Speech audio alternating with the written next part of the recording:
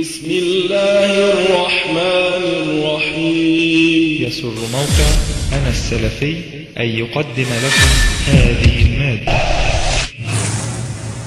سبحان ربنا رب العزة عما يصفون وسلام على المرسلين والحمد لله رب العالمين وصلى الله على سيدنا محمد النبي الأمي وآله أجمعين. انتهى بحمد الله تبارك وتعالى هذا الكتاب المبارك. والسفر الميمون كتاب شرح السنة للإمام البغوي الشافعي رحمه الله تعالى آه الذي بدأناه بحمد الله تبارك وتعالى منذ آه نحو السبعة عشر عاما في عام ألف وأربعمائة وسبعة عشر. وهذا يعني من فضل الله عز وجل علينا أن في أعمالنا حتى انتهى هذا الكتاب المبارك ونحن ننتهز الفرصة لكي نذكر الإخوة بأن هذه الكتب القيمة التي كانت علامات مميزة على طريق العلم من أهل العلم الأفاضل إنما تحتاج إلى مواظبة ومداومة ولو قلت ولو نصف ساعة في الأسبوع كما يعني داومنا عليه في المدة الأخيرة. يعني لو طرحت مدة الحبس وهي قريب من سنة فقد مضت ستة عشر سنة على البدء في هذا الكتاب أو يعني على تدريس هذا الكتاب. ندعو بالرحمة والمغفرة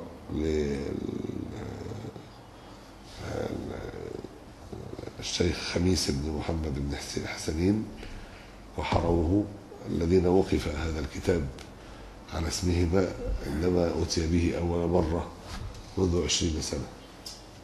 وندعو بالرحمة لأخينا الشيخ حسن مروان أخينا محمد سالم رحمهم الله الذين اللذين كان اثنين من ستة بدأ بهم في الأسبوع كما يعني الكتاب ده أول ما بدأناه كان بيقعد معايا فيه ست انفار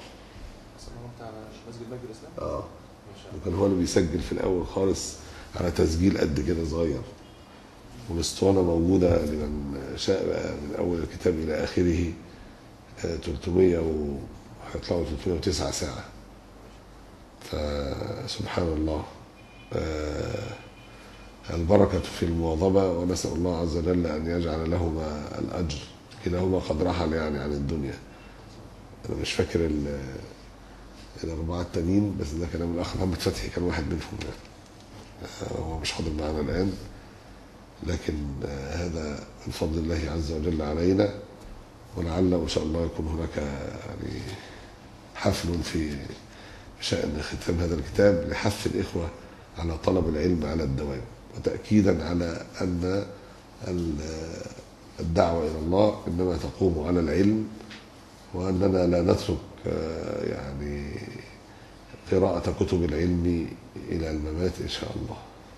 إلى يعني طالما قدرنا على ذلك ولا نمنع منها إلا قهرا والله المستعان. ويعني أنا أؤكد على جميع إخواني أن يعني أن يهتموا بنشر العلم في مساجدهم وفي حلقهم وفي بيوتهم وأن هذه البركة المستمرة في كتب السنة التي تنشر العلم في الحقيقة التي يعني يحافظ بها على السنة. هذا الكتاب يعني هو أحد يعني الكتب الباقية للإمام البغوي بركة السنة فيها. الإمام البغوي له تفسير وله هذا الكتاب في شرح السنة وله يعني كتبه الأخرى في المذهب الشافعي وهو أحد مجتهدي المذهب. أصحاب المنزلة فيه يعني. ومع ذلك فهذا الكتاب أبقى هذه الكتب. وكتاب التفسير له يختلف اختلافا كبيرا عن كتاب شرح السنة. لنور حديث النبي صلى الله عليه وسلم وبركته. كتاب التفسير عنده لأنه ملأه كثيرا من الإسرائيليات فقل الانتفاع به.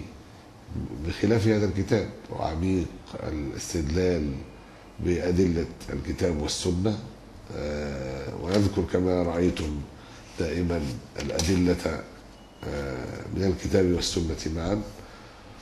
وفي نفس الوقت آه، آه، يذكر تخريج الأحاديث ولا شك أن الجهد الذي بذله الأستاذ آه، زهير الشاويش وشعيب الأرناؤوط جزاهم الله خيرا عن تخريج هذا الكتاب على يعني آه، والتصحيح والتضعيف. كان جهدا مشكورا آه، يعين طلاب العلم في كل وقت على ذلك. والشرح المذكور يعني كل التعليقات اللي فيه متعلقة بالحديث والإضافات المذكورة من الكتب الأخرى هو من هذه الطبعة التي هي من تحقيق الأستاذ زهير الشاويش وشعيب الأرناؤوط آه، جزاهم الله خيرا. آه، هي طبعة المكتب الإسلامي وهي أفضل الطبعات الموجودة لهذا الكتاب المبارك. نمضي على هدي الصحابة والسلف خير القرون مكانة في الأمة. نحدو وإن